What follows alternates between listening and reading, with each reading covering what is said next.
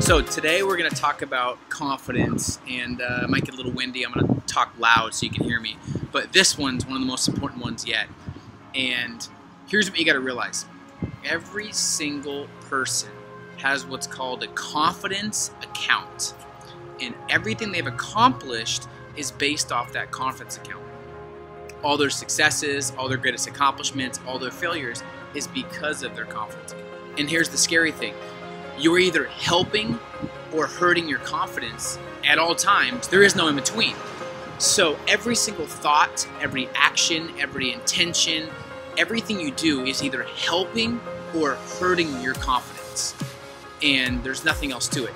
And they say those who don't have confidence will always find a way to lose.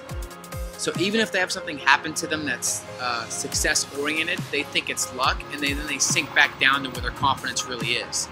So I want to give you five C's to really having unshakable confidence. Number one, choices. Uh, the choices you're making are making you, and you have to ask yourself in every choice, in the moment, is this helping or hurting my confidence? because most choices people make are based off their current emotions and pleasure versus long term happiness and success. So make sure every choice you're making is something that you'll be proud of later on. And I'll tell you, the biggest thing I can tell you about choices is choose growth in the moment, and whatever's harder is usually the right choice. Number two, challenges. Just understanding that challenges are a good thing will help your perspective and give you confidence. Most people, when they go through a challenge, they let that uh, challenge define them and it lowers their confidence. Don't let that happen. So when you have a challenge, understand that's that has to happen in order for you to grow and to add to your repertoire of success and add to your mental toughness and your character.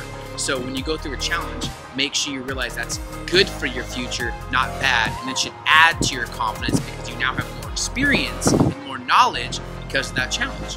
And a great quote um, that I've heard that really shows this at the highest level is it's not what you do when you're on top that makes you a great leader. It's what you do when you're on the bottom that determines your real leadership ability. So it's even when you're going through a big challenge, you got to keep that confidence. Number three, champions. Hang around champions. Who you associate with is who you become. And as I said earlier, if everything you do either helps or hurts your confidence, one of the biggest confidence boosters and self esteem boosters in life, in business, and sales, and marketing, and entrepreneurship um, is who you hang out with. So make sure you're hanging out with champions that challenge you, that give you perspectives that make you think that uh, raise your standards to new levels of success. Number four is consistency. Now, consistency is all about character. Can you do what you say you're going to do? Ask yourself right now are you as consistent as you could be in your health, in your business, um, with your emotions, with your attitude?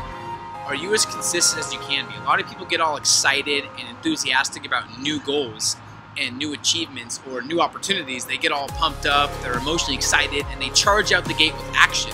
But the reality is that eventually flares out. And if you can make a commitment to consistency, you will not only catch your competitors, you will leave them in the dust every single time. I just do what most people can't do that I have found, which is stay consistent. And lack of consistency is subtle, but it's the great stealer of all dreams and desires. The stop and start process is what kills most people's progress. And it's probably one of the greatest reasons people ultimately don't achieve their goals in business or life, uh, financial, whatever, is because they don't stay consistent and it causes disappointment and frustration. And what that causes is a lack of confidence. Because remember, everything boils down to the confidence you have in yourself and your ability to make things happen. And there's nothing more powerful to build to your confidence and multiply your income by two, by three, by five, by ten, uh, as there is of consistency and consistently getting better, whether you feel like it or not. Number five, lastly, is courage. To do the things that scare you, to approach the businesses that you're scared to talk to, to make the phone calls you're scared to make, to call the people you're nervous to call, to reach out to the people that you know you should reach out to, it's probably one of the biggest reasons people don't ultimately achieve their goals, besides lack of consistency, is they don't have the courage and they lack the confidence. But once you make bold decisions and once you make the big decisions and you take courage really seriously, it gets easier next time to take that bold action as well.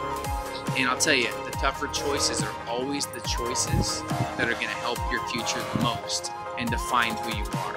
And pretty soon, every single choice you're making is building to your confidence. And the people with the most confidence usually have the greatest success and the most fulfilling lifestyle as well.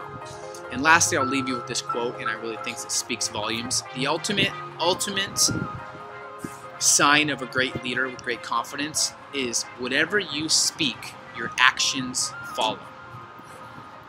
So make sure whatever you're speaking, your actions follow, because the person with the most confidence always wins. So hope you got some good stuff, and uh, make sure you leave your comments and, and what you're thinking below, and, and share this video with anyone that you feel it would add value to, because the movement's all about adding value and helping other people live the best lives they can. So once again, hope you learned some great stuff, and we'll talk to you soon.